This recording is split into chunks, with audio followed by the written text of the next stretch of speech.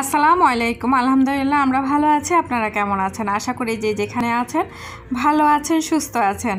তো আমার ব্লগটা শুরু করছি। তো গতকালকে ব্লগ শেষ করার আগে আমি বলেছিলাম আজকে আরিবের বাবার রান্না দিয়েই শুরু করব ব্লগটা। তো গতকালকে আমি বলেছিলাম যে আমরা দুজনেই রান্না করেছিলাম। যেহেতু গতকালকে শুক্রবার ছিল এবং তার আগের দিন ছিল বৃহস্পতিবার। তো বৃহস্পতিবার রাতেও আরিবের বাবা কিছু রান্না করেছে। উম, তো শুক্রবারও একটা রেসিপি সে করেছিল। তো ওটা আর আমি শেয়ার করতে পারিনি। আমার গতকালকের ভিডিওটা অনেক বড় হয়ে যাচ্ছিল। তো এটা ভেবে আমি দুই পার্ট করেছি ভিডিওটা। তো আশা করি আপনাদের কাছে ভালো লাগবে। তো আজকের পার্টে আমি আরিফের বাবার রান্নাগুলোই রেখেছি। ওটা দুইটা রেসিপি করেছিল। একটা হচ্ছে যে খাসির গোস্ত দিয়ে, মুগ ডাল দিয়ে, আলু দিয়ে রান্না করেছিল। আর একটা হচ্ছে যে, লাউয়ের সিল্কা চিংড়ি মাছ দিয়ে ভাজি করেছিল। তো আমার কাছে মনে হচ্ছিল যে, ওই দুটো রেসিপি আপনাদের সাথে শেয়ার করি। ওর রান্না আসলেই খুব মজার হয়। তো এই জন্য আমার রান্নার সাথে আর মিলাই মিলাইনি। ভাবলাম যে আলাদা করে ভিডিও করে আপনাদের সাথে শেয়ার করব। তো চলুন আপনাদের সাথে শেয়ার করি। এই যে সে মশলাটা কষিয়ে ফেলেছে, তো এটা ছিল বৃহস্পতিবার রাতের রান্না। তো এইখানে পেঁয়াজ কুচি, রসুন পেস্ট, আদা পেস্ট, তারপরে রেগুলার যে মশলা আছে সব কিছু দিয়ে সে মশলাটা কষিয়ে নিয়েছে। গোস্তর মশলা যেগুলো আর কি, ওগুলো আর এখানে মুগ ডাল ভেজে ধুয়ে নিয়েছে। আর এখানে খাসির গোস্ত, তো মশলাটা কষানোটা একটু দেখিয়ে দিচ্ছি। মোটামুটি মাংসের যে মশলাগুলো আছে বা গোস্তের যে মশলা, সেই মশলা দিয়ে সে কষিয়ে নিয়েছে। আর এখানে মশলা কষানোর পর মুগ ডালটা দিয়ে দিয়েছে। তো মুগ ডালটা দিয়ে ভালো করে আবার মশলার সাথে কষিয়ে নেবে। তো আপনাদেরকে আগে একবার বলেছিলাম যে আরিফের বাবার রান্নার সাথে আমাদের রান্না মিলে না। কারণ হচ্ছে মশলা কষানোর পরে আমরা আমরা হলে কি করতাম? আমরা হলে গরু মানে খাসির গোস্তটা আগে দিতাম, তারপরে মুগ ডালটা দিতাম। তো ও কি করেছে? মুগ ডালটা আগে দিয়েছে, তারপরে খাসির গোস্তটা দিয়ে কষাবে। তো এইভাবে সে রান্নাটা কমপ্লিট করবে খাসির গোস্তটা কষানো হলে সে আলুটা দিয়ে দিবে, দিয়ে পরিমাণ মতো সেদ্ধ হওয়ার জন্য পানি দিবে, দিয়ে এই তো রান্নাটা কমপ্লিট করে ফেলবে আর কি। তো এটা ছিল আমাদের রাতের খাবার, বৃহস্পতিবার রাতের জন্য আর কি। তো এইটা আশা করি আপনাদের কাছে ভালো লেগেছে।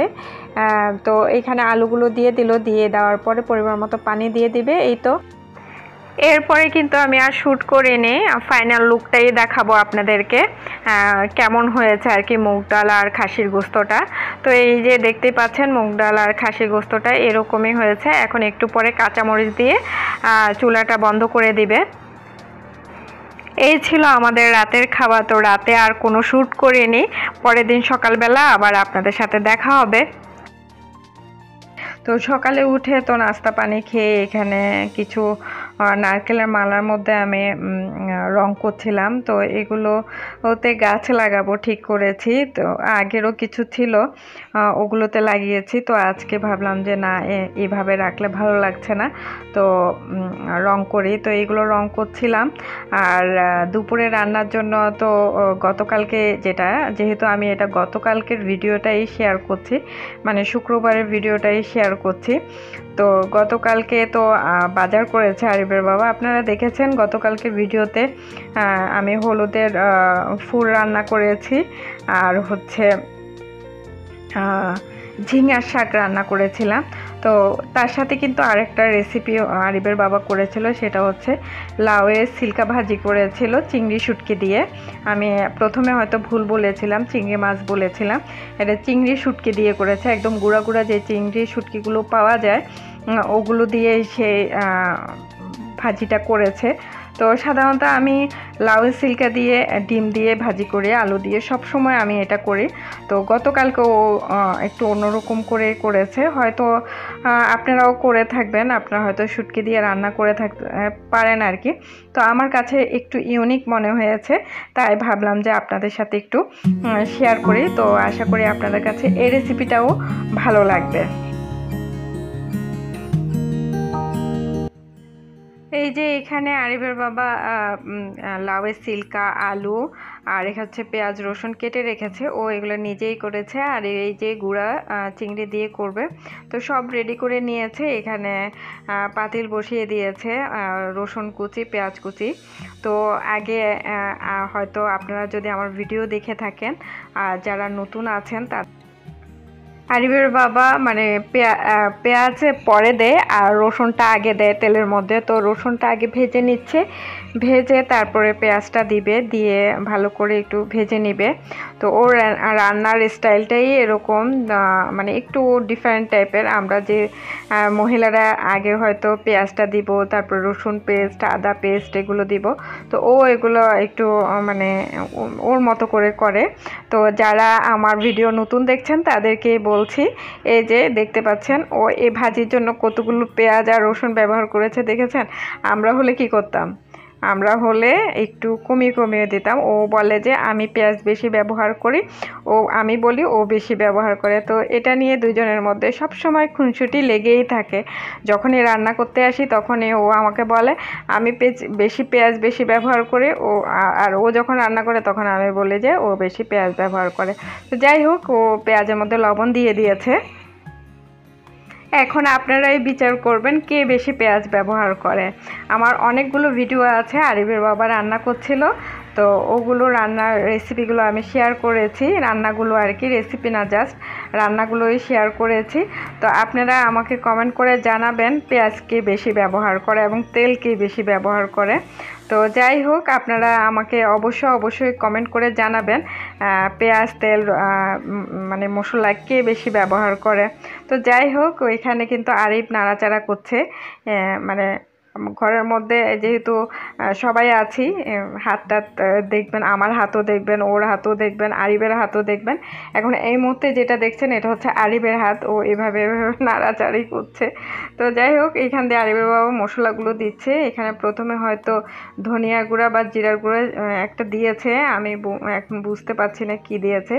হয়তো সম্ভবত ধনিয়া গুঁড়াই দিয়েছে। এখন মরিচের গুঁড়া আর হলুদের গুঁড়া দিয়ে দিচ্ছে। দিয়ে তারপরে আলুগুলো ভেজে নেবে। ও প্রথমে আলুটাই দিবে, তারপরে হচ্ছে লাউয়ের সিলকাটা দিবে, তারপরে চিংড়ি মাছটা দিয়ে কষাবে। এখানে কিন্তু আর পানি ব্যবহার করবে না কষানোর উপরে এটা ভেজে নেবে।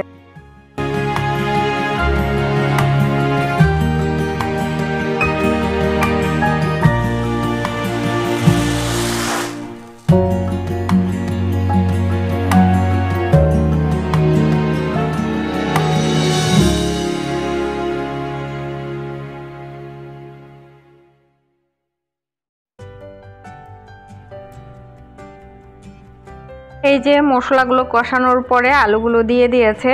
তো যাই হোক, যারা চিংড়ি, শুটকি খেতে পছন্দ করেন, তাদের কাছে এটা খুবই ভালো লাগবে।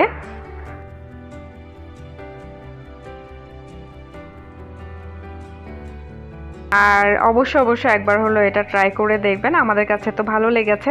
আপনারা যদি এইভাবে রান্না করে দেখেন, না, অবশ্যই ভালো লাগবে। সব সময়তে দেখা যায় যে লাউ, সিল্কা, আলু দিয়ে ভাজি করছি বা ডিম দিয়ে ভাজি করছি, এরকমই হয়। তো এভাবে রান্না করে দেখতে পারেন মানে ভাজি করে দেখতে পারেন। অবশ্যই একটা মুখরোচক একটা খাওয়ার। তো যাই হোক, আর আপনাদের কাছে যদি দুটো রান্নাই ভালো লাগে, তো অবশ্যই একটা লাইক দিবেন এবং কমেন্ট করে জানাবেন আপনাদের কাছে কেমন লেগেছে? আর একটা কথা বলি, আমার ভিডিও যারা দেখেন মানে ফিফটি পার্সেন্ট হচ্ছে সাবস্ক্রাইব করা আর ফিফটি পার্সেন্ট হচ্ছে আনসাবস্ক্রাইব করা মানে ওনারা সাবস্ক্রাইব করেনি এমনি জাস্ট আমার ভিডিওটা দেখেন। এরকম যদি কেউ হয়ে থাকেন, তাহলে রেগুলার আমার ভিডিও দেখেন, কিন্তু সাবস্ক্রাইব করেনি কাইন্ডলি অবশ্যই সাবস্ক্রাইব করে দিবেন। আর সাথে থাকা বেল আইকনটা প্রেস করে দিবেন বা ক্লিক করে দিবেন, যাতে করে আমি কোনো ভিডিও বা ব্লগ দিলে আপনাদের কাছে নোটিফিকেশান চলে যাবে এবং আপনারা দেখে নিতে পারবেন। তো প্লিজ যারা আমার ভিডিও নিয়মিত দেখেন কিন্তু সাবস্ক্রাইব করেননি, তাদেরকে আমার একটা অনুরোধ রইল, আপনারা অবশ্যই সাবস্ক্রাইব করে রাখবেন। আমার কাছে ভালো লাগবে। আর যারা সাবস্ক্রাইব করে ফেলেছেন ইতিমধ্যে, সবাইকে আমার মানে অন্তরের অন্তঃস্থল থেকে ধন্যবাদ জানানো ছাড়া আমার এই মুহূর্তে করার কিছু নেই। তবে ভবিষ্যতে যদি ভালো কিছু হয়, ভালো যদি কিছু করতে পারি, তাহলে ভবিষ্যতে কিছু একটা করব। সত্যি কথা বলতে কি আমার জাস্ট সময় কাটানোর জন্য এই ভিডিওগুলো করা।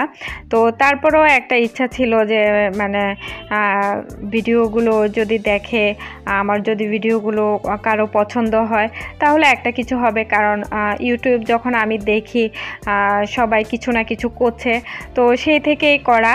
আর মোস্ট যেটা করা আর কি সেটা হচ্ছে যে, আমি আমার সময়টা কাটানোর জন্যই ভিডিওগুলো করা।